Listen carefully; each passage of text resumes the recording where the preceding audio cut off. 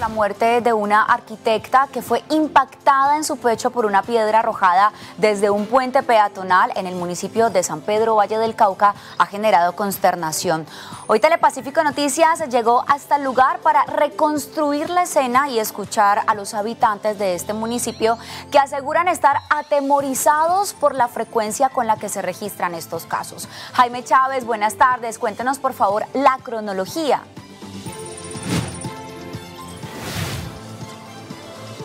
Hola, buenas tardes. Pues mire, se trata de Andrea Arango Atertúa, la joven de 28 años que desde el departamento del Quindío viajaba en su vehículo particular como copiloto, precisamente acompañada de su novio. Se dirigía hacia la capital vallecaucana precisamente para correr la media maratón que se disputó allí. Pero en este trayecto, precisamente en este punto, en el puente de Todos los Santos, lastimosamente ella perdió la vida debido a una roca que cayó sobre el parabrisas de su vehículo y que la dejó gravemente herida. Ella fue trasladada por su novio hasta el peaje que está a unos cuantos kilómetros del peaje Betania para que recibiera la atención por parte de los especialistas, donde finalmente fue trasladada a Buga y perdió la vida.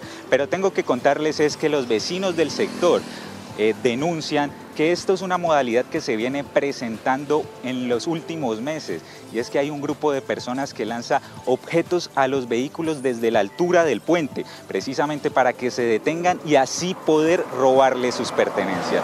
Y precisamente esto fue lo que nos contaron. A plena luz del día y sin ningún control, estas personas encapuchadas atentan contra la vida de los ciudadanos, convirtiéndose en un dolor de cabeza no solo para ellos, sino para las autoridades.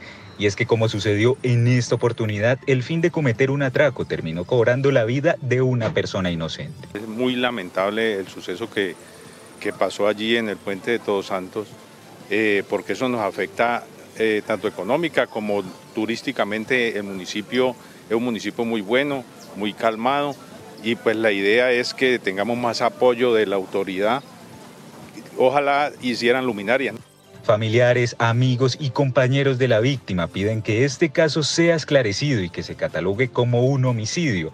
Las autoridades, por su parte, aseguran que ya se adelantan las investigaciones sobre este y otros sucesos en la zona, en la que se desplegó un dispositivo entre varias instituciones en el momento de pasar por debajo de un puente, cae una roca ingresando por el panorámico del vehículo y lesionando a esta pasajera.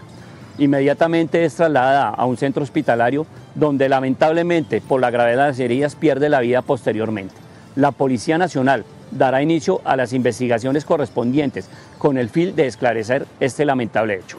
Pasajeros de buses, conductores de vehículos de carga y motociclistas ya han sufrido esta situación y aunque los habitantes y comerciantes del sector aseguran haber denunciado públicamente esta problemática, explican que no les han prestado atención, solo hasta ahora, cuando ya se presentó una tragedia. Lastimosamente también los puentes, como, es el caso del de Todos Santos, tienen una situación que es que tiene poca luminosidad, si es que, es ninguna, y en horas de la noche se prestan para no solo para esas cosas que no sé qué, qué fin tengan, eh, pero también para robos y para muchas cosas que presentan en esa situación. Entonces, ¿qué se le pide? Pues se le pide al departamento y a la nación de que pues aumenten el pie de fuerza porque el municipio ha venido creciendo, ya no somos los mismos habitantes que éramos hace 20 años. Se hará el llamado, como lo hicimos en nuestra voz de protesta por redes sociales, para que se tomen las medidas, se hagan las investigaciones correspondientes, se esclarezcan los hechos de la muerte de esta ciudadana y es la oportunidad para hacer el llamado a los sanpedreños, a los vallecaucanos que nos unamos, protejamos la vida, la salvaguarda e integridad de las personas, especial de las mujeres. Llegamos hasta la alcaldía de este municipio en búsqueda del alcalde John Jaime Ospina, quien también llamamos, pero este se abstuvo de entregar declaraciones de la grave situación de orden público que actualmente vive en su municipio.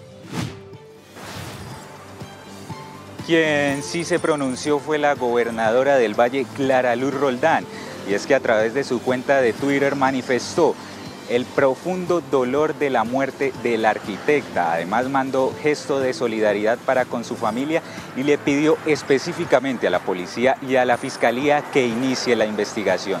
Por eso precisamente en este punto ya se empiezan a hacer los primeros puestos de control para verificar que la zona esté transcurriendo con completa normalidad y de dar posiblemente con la captura de este grupo que estaría cometiendo este delito. Desde la vía panamericana, Jaime Chávez, Telepacífico Noticias.